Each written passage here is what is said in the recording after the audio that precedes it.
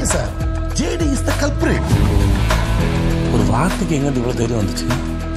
ஐயாவுன்னா அது ஒரு போதகை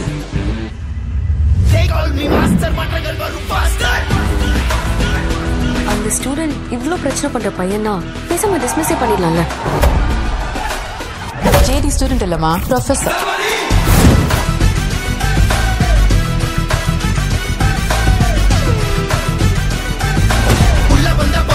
அண்ணன்